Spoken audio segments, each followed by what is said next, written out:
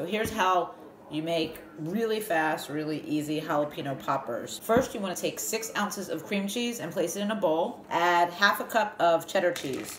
I'm using sharp cheddar cheese. Now add about a teaspoon of pepper. Add a half a cup of chopped cooked bacon. You don't have to add the bacon, but it adds a nice little touch. You can also use about a quarter cup of bacon bits if you have them instead of the chopped bacon. And now we're to mix all of this together. You can use a hand mixer or you can use a spatula like I'm doing. Now set this aside.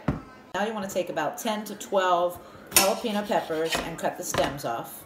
And once you've cut the stems off of the jalapenos, you want to cut them in half lengthwise. And you want to take this membrane part out of the middle. And make sure you use gloves because they will burn your hands and you don't want to touch your eyes and burn your eyes. After you've deseeded your jalapenos, you want to place them on a parchment paper lined pan. Just like that. Now take a spoonful of your mixture and start filling all of your peppers, just like that. Now melt two tablespoons of butter and add your butter to one cup of panko crumbs. Mix this together. This is going to be the topping for your jalapeno peppers. So now you just take your jalapeno with clean hands and dip it into the crumbs. And that's it. Now we're gonna place these into a 425 degree oven for 15 to 20 minutes until the panko crumbs are toasted and brown. And they are done.